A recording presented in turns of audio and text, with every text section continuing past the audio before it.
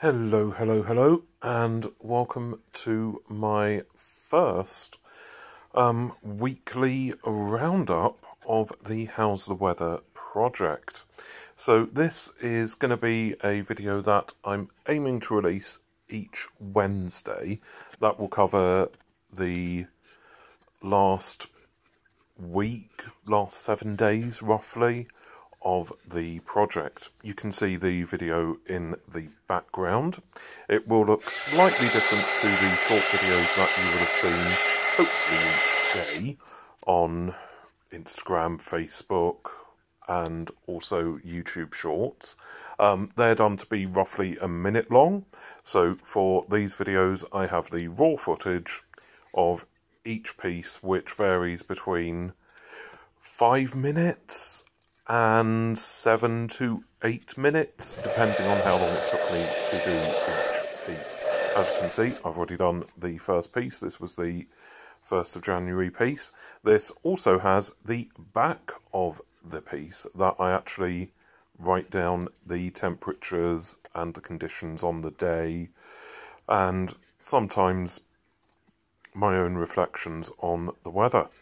So yeah, that's basically what this series is going to be. I'll create it as a series on YouTube or a list on YouTube, playlist on YouTube.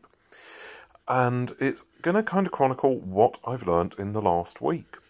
Um, so I came into this a little bit daunted, to be honest, and not, and I didn't really think anyone would care. Um, but over the first seven days, I racked up around about 14,000 views of the reels on Facebook and about five to 600, I think, on YouTube. Maybe a bit more. I can't remember actually. Um, so, yeah, which is absolutely amazing that you're all joining me on this journey. So, I suppose going to the journey, what I've learnt really is um, having insomnia and going to bed later really helps with this because I, on average, I'm creating the piece of art round about 11.30 to midnight. Oh, how can you do it based on the temperature on the day? I hear you cry. Um, I I use what the recorded temperature as of that time according to the um, weather service is for that hour. It might not be exact. I've done this knowing that the figures that I'm using for the up-to-date day weather, or temperature rather, may change according to the official figure, but official figures take months to come out. I'm using as up-to-date information as I have on the day, and I'm it's my own response to climate change and to the weather changing. Um, this week I did not expect to have any green in my paintings. I had a couple of days with green in there. Green is temperature around about 12 degrees. I didn't think this early in the year we'd have that temperature. Looking at, and you can see on that picture there, 1985, the year I was born, was a cold year. The average temperature for Coventry, the mean temperature, has been significantly, through most of the week, colder than the temperature that we've seen. World's warming up. There's not really much of an argument about that now. And doing the doing the piece each day, actually making note of the temperature each day and comparing it to a 30 year average, comparing it back to 1985 when I was born, it is stark how different it is, how different it feels.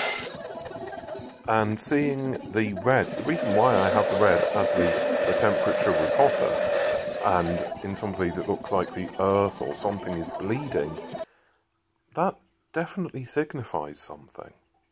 I really think it does. Um, the the other thing that I've learned is I really do like the colour palette that I've done, having graduated colours from purples through to um, eventually red and pink on the hotter scale, which hopefully we're not going to see for a little while at least this year, um, has created some really amazing pieces of art. Considering the pieces are using pretty much the same colours pretty much each day. There's a little variation, but not too much. And the same technique, you'll see that I do the blowout fairly similarly each day. I do try to vary it occasionally. They've come out really different. They haven't come out the same at all, which I'm really impressed by. I really love. And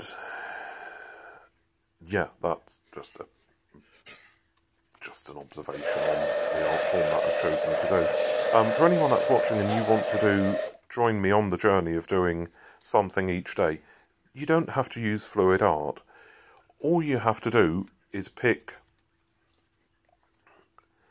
well, something that mm, 10 versions of something, so say 10 shapes or 10 colours, that you will use to signify the weather the temperature on that day and then stick to that through your journey. So you could have 10 shapes and draw them on a piece of paper using felt tips.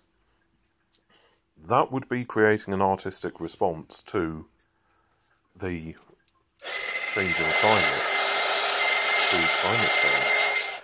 Um, you can crochet, you could knit,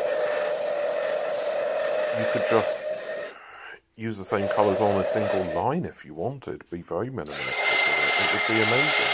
It would be amazing for you to join me in this journey. Um, I'm coming to the end, so thank you for listening, and I'll speak to you.